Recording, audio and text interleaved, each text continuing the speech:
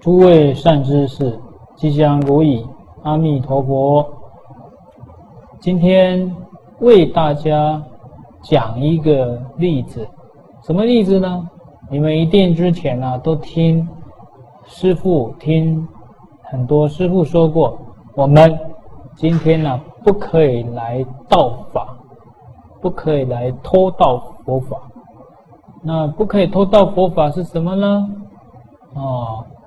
偷不可以偷盗佛法，就是说，我们今天学佛啊，要光明正大的学佛，而不是啊偷偷摸摸的跑到一个地方，跑到一个人人家的地方还是寺庙啊偷把它偷来，这这种态度是错误的。那这一经呢，就是有关于嗯有关于这方面的，跟大家讲一下。来，我为大家说了，有一次，佛陀住在王舍城的迦兰陀竹园。那这个时候呢，不管是国王、大臣、婆罗门、长者，还是居士啊，以及其他的世间人，每个人大家都是恭敬、尊重佛陀的僧团。大家都供养佛，跟所有的比丘众，因此佛以及比丘众啊，大得利养啊，大得供养，得到很多供养。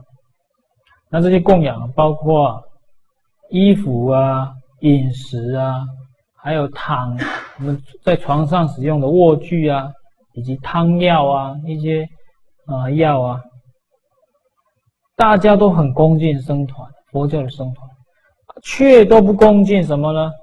不恭敬，不恭，哎，不尊重，以及啊，不供养众邪外道，都不供养这些外道啊。那这个衣服、饮食、卧具、汤药，这个时候啊，通通不供养啊。这个是这是有可能发生的哦，因为在印度的历史上啊，曾经就是佛陀的呃佛佛教的这个势力啊，大过于印度教，大过于婆罗门教。可是现在哈，由于佛教已经在印度教消失了，所以就整个佛佛陀啊被吸收，被吸收进入印度教，它只是印度教某个神的的化身而已。他们的解释是。佛是他们某个神的化身，这是桑杰罗哦，呃，桑杰罗他出世之后啊，就用不二费檀多来总结这个印度教。那不二费檀多其实很像中观或中论的说法，都是不落两边。那这个当初是有一段很有趣的历史的，就是说。当时候，这个印度教的这个谁啊？啊，婆罗门教的这个叫做桑杰罗，他每次都找法称菩萨辩论。那法称菩萨大家知道吧？他是一明学非常著名的一个啊佛教佛教修行者。每一次找法称菩萨辩论，都辩输给法称菩萨啊，结果他就啊就自杀谢罪。哦，这是他受不了输嘛，就是自杀。啊，出生之后呢，啊，出世之后长大，又找法身菩萨辩论，这一次又输，又自杀。第三次他又去找法身菩萨辩论，又输。这次法身菩萨看不下去，他说：“你不要自杀了，来了，我把一明学教给你了。”结果呢，桑杰罗把一明学教学过来之后呢，从此。就用一明学啊，以及用这种中观的方式啊，为婆罗门教辩护。结果呢，那个时候开始就经常啊，将佛教的论义给变倒。通常都是佛教辩赢呃婆罗门教，可是呢，他学了一明学之后，就变成这个样子。那起初由于这三杰罗的观念里头有很多一明学，以及有很多。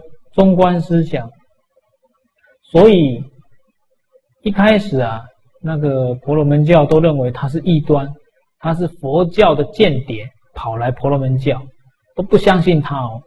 啊，一直呃到今天呐，大家已经把桑杰罗啊当做印度教、婆罗门教里面最伟大的圣者，所以是这样子。那基本上现在佛教在印度哈，就是根本没有被重视啊。佛教在印度是没有被印度人重视的，它只是啊印度教某个神的化身而已，所以它是有这样子渊源于历史。但是没办法否认的是，佛教确实在印度的历史上大约有一千年，一千年呢，它是非常强大的，强过婆罗门教。这是无法否认的事实，但是由于印度教在佛陀以前就是本土宗教，在佛陀死后一直到今天二十一世纪了，它还是本土宗教，所以印度教根深蒂固的在印度人思想中它是不可磨灭的，反而是佛陀佛教是昙花一现。所以我今天这样子跟大家讲，是让大让大家知道，我们在台湾所认为的佛法佛教。在印度不是这个样子，你们要认清楚，在印度不是这样子哦，是整个情况是这个样子。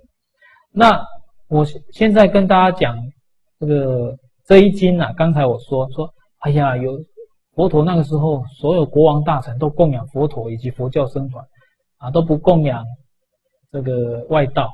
那个时候就是怎么样呢？由于佛陀住世，大家被佛陀的这个风采所迷倒。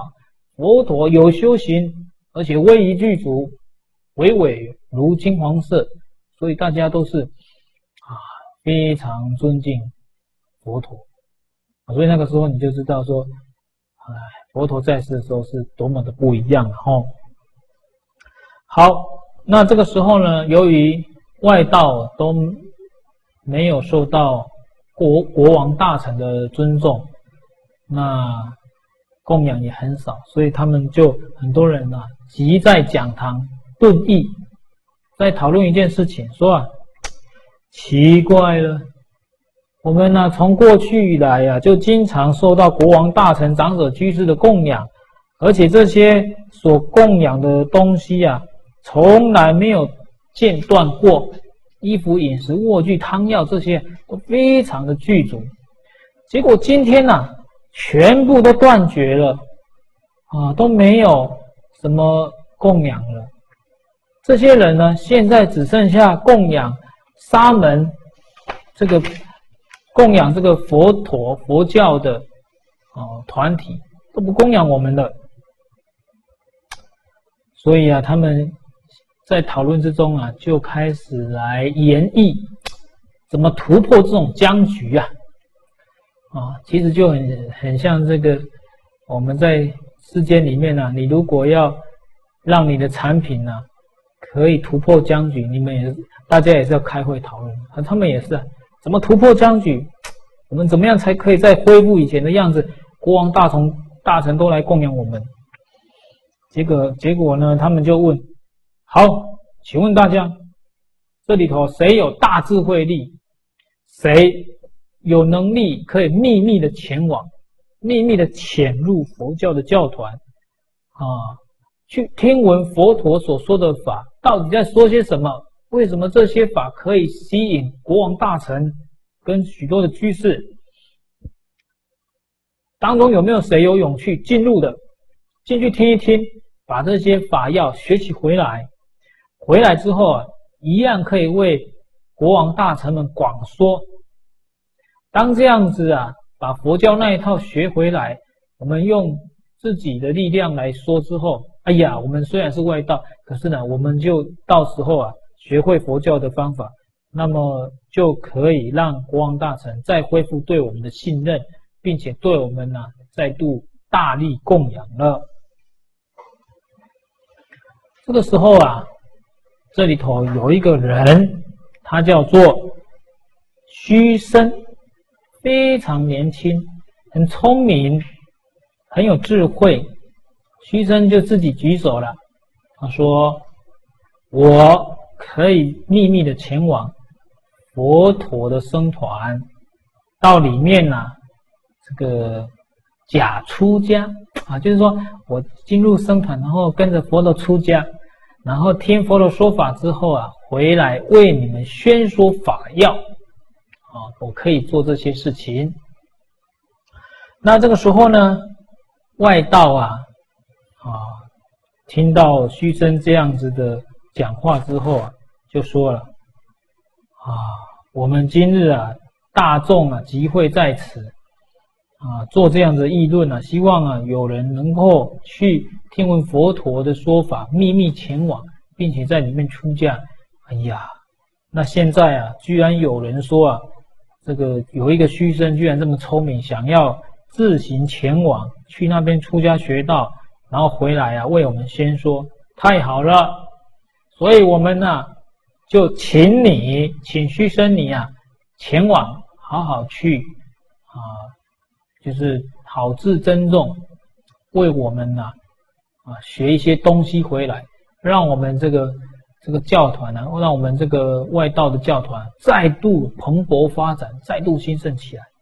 所以各位，印度是一个哈很重视宗教的社会，里面呢各种宗教都有蛮多的。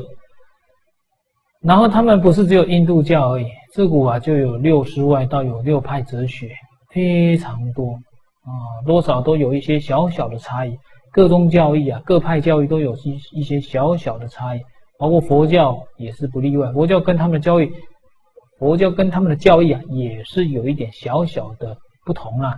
哦，当然根本教义上是很大的不同啊，有一些是相仿、相同、雷同之处，这个是在所难免。因为同样是一个印度社会的。的产物嘛。好，那虚生啊，默然受请之后啊，就秘密前往佛陀所住的王舍城迦兰陀竹园。那秘密前往之后呢，到底发生什么事情？大家一定非常好奇，秘密前往发生什么事，对不对？好，我知道大家非常想要知道。那么下回。分晓，下回为大家分解。现在啊，我们先回到思念处，我们来看思念处。好，先不要急哦，不要急着说虚生到底发生什么事情，马上就会让大家知道，下一集就知道了。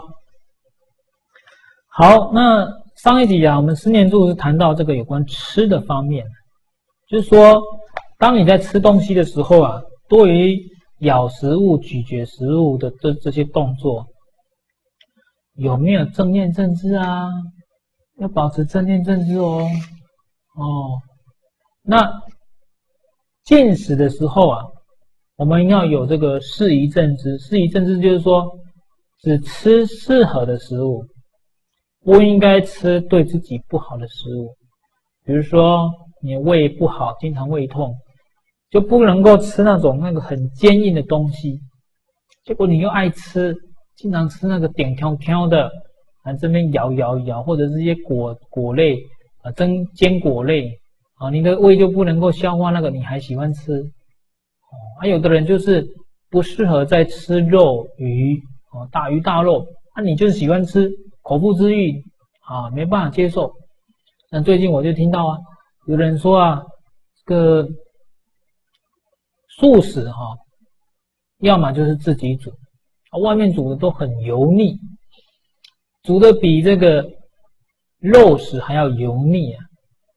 哦，所以他宁可选择吃肉啊？这个说法正确吗？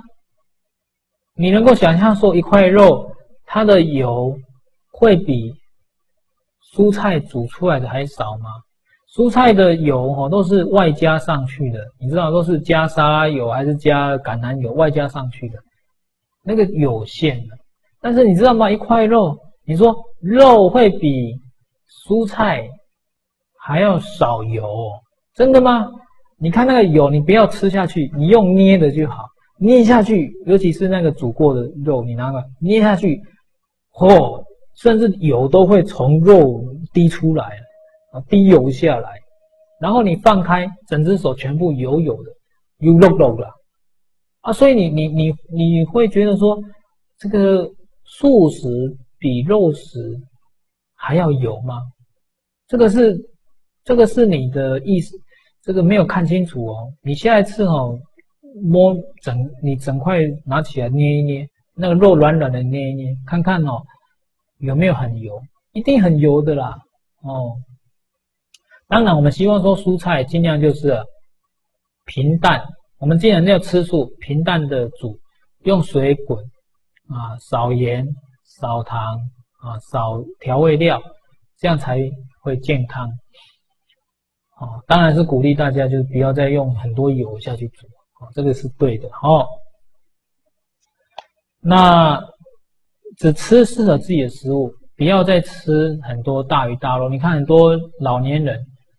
这个那个谁啊？医生都会劝他说：“你已经不能够再吃了哦，鱼肉不能再吃了，因为你已经高血压、胆固醇很高了，不可以再吃哦。”所以各各位从这边可以知道，哦，再怎么样，鱼肉这种东西呀都不适合吃啊，哦，不适合吃。那还有呢？你看现在有很多的这个呃。就是素食店啊，他们进大量的鱼肉，那个背后都有大量生产的工厂，就是说养鱼、养肉、养鸡肉、牛肉、猪肉都有大量的这个呃生产线在。那这些生产线呢，都会用荷尔蒙，然后注射很多有的没的药物。那你再把这些药物吃进去吗？还有那些东西造成水污染、环境污染、土地污染、空气污染，非常多的污染，又造成这个温室效应持持续提高啊，它也是温室效应有很多因素，它也是其中一环。所以你看哦，这个肉食啊，有这么多这么多的坏处，所以我希望大家重新思考这个问题，重新思考，不要。等闲视之啊，以为说，哎呀，吃肉啊，吃素也是吃吃肉啊，啊，吃素也是吃生物，因为素食也是生物，哦，不是这样子哦。好，那刚刚讲过啊，吃只吃自己适合的食物。当你正在吃的时候呢，你要升起不吃正知，什么意思？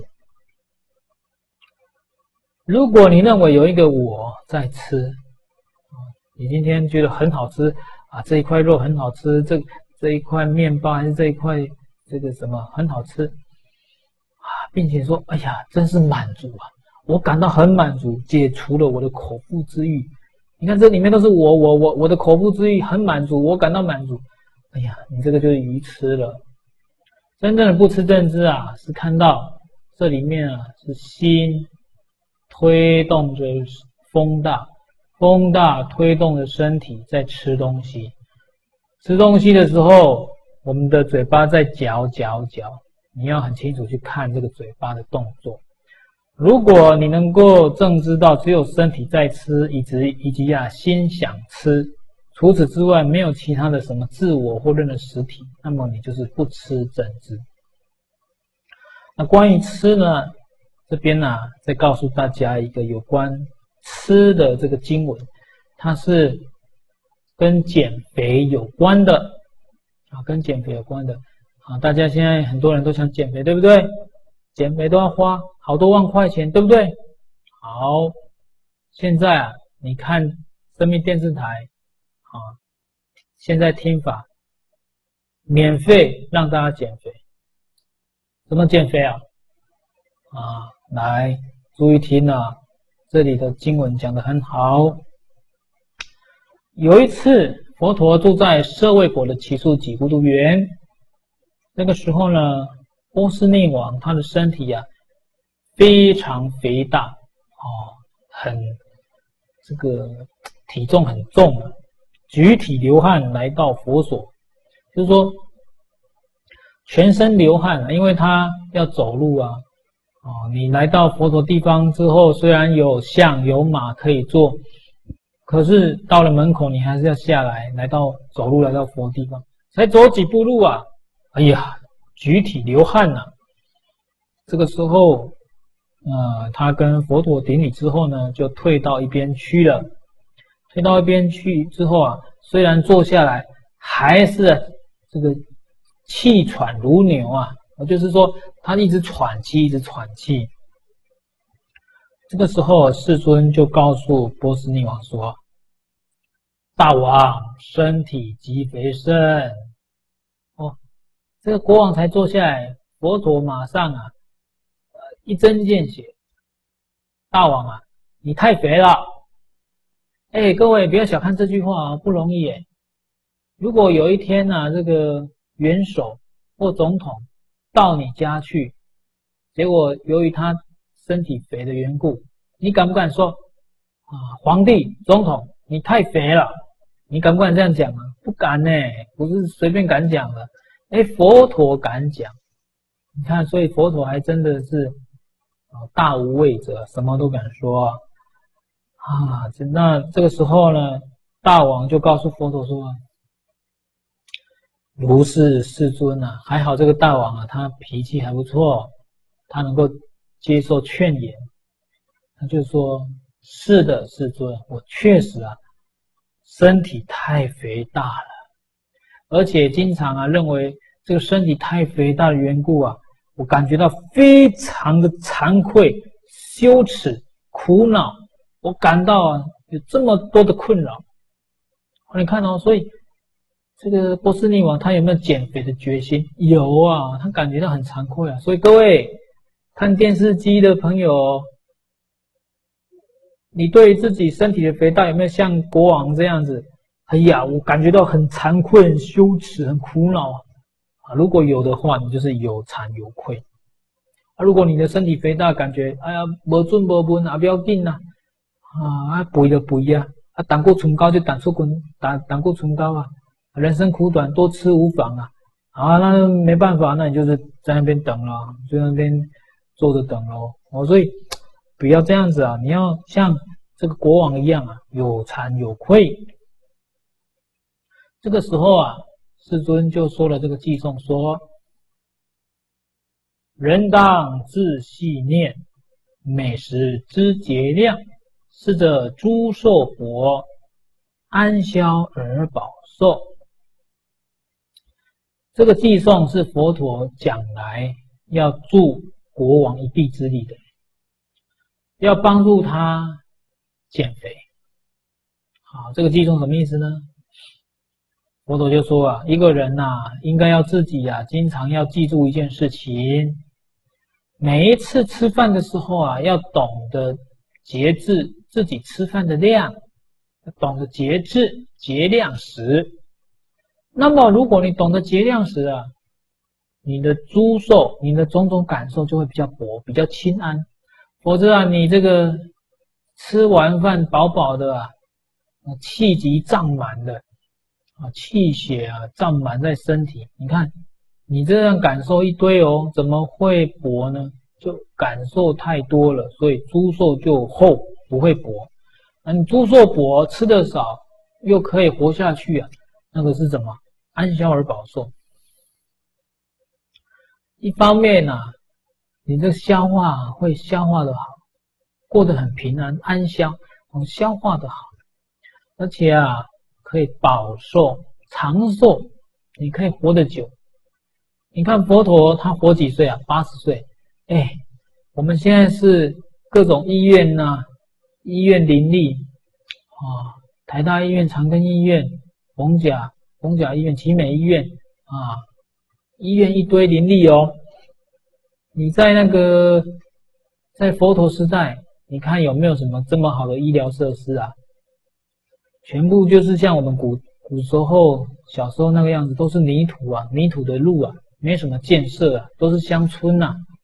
那这样子的医疗没什么医疗，很容易啊，如果没有及时把他救过来，就是往生了。所以古时候其实寿命呢。比我们现在短，佛陀活到八十岁已经算是长寿的喽。所以他说啊，你如果可以这样每次都吃节量的吃啊，安消而保寿。那这个时候有一个年少的呃年轻人叫做玉多罗，在大会里面坐着。那这个玉多罗啊，虽然在大会里面坐着，那个国王看到他，就赶快跟他讲：“玉多罗啊，你可以从世尊的那边把这一句话接受下来，然后每一次当我吃饭的时候，你都把它背一次给我听吗？啊，因为啊，我实在太忙了，没有时间。”啊，有时候会忘记，还是吃很多，所以每一次你都可以提醒我吗？如果可以这样子的话，我我赏你黄金十万，而且啊，常常啊，让你有食物吃，常常让你啊，嗯，不用这个担心吃的问题。啊，那这时候玉多罗就告诉国王说啊，奉教，我接呃听这个。国王的话，我会为你送的。这个时候，波斯匿王听到佛所说的，就非常欢喜啊，回去了。那玉多罗知道国王回去之后，到师尊面前呢，就把这句这个偈颂背起来。每一次国王吃的时候啊，就为他诵念啊，诵念，就告诉说啊，大王就好像佛陀所说的这个偈颂，你要好好的。细念哪一句呢？美食之节量，安哎，美食之节量，逝者诸寿薄，安消而保寿。各位可以把这个背起来。如果你们背不起来呀，你们可以背什么呢？饮食之节量，你们可以背饮食之节量就好。那一样是有这个好，最完整是美食之节量，然后这个逝者诸寿薄，安消而保寿。那如果背不起来，你们就背饮食之节量就好了。那后来发生什么事呢？波斯匿王有没有减肥呢？下回分享。所以下回我们要分给给大家分享两件事情啊。我们今天先讲到这边，阿弥陀佛。